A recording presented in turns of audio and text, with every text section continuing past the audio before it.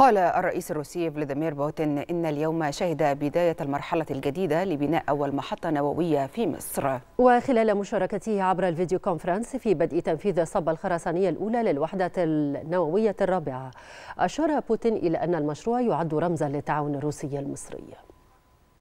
نبدأ في المرحلة الجديدة للبناء أول محطة نووية في مصر وهذا الرمز هام جدا في التعاون الروسي المصري فإن تنفيذه سيأتي بالمساهمة في تطوير الاقتصاد المصري وسيعزز سيادتها في مجال الطاقة وستعمل على تشكيل فرص عمل كفاءة.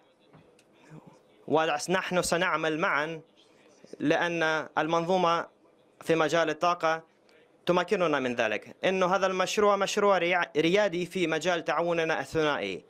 وفي القرن الماضي من في النصف الثاني شارك خبراء الروس بالنشاط في دعم الاقتصاد المصري وبنائه والقدرات الدفاعية.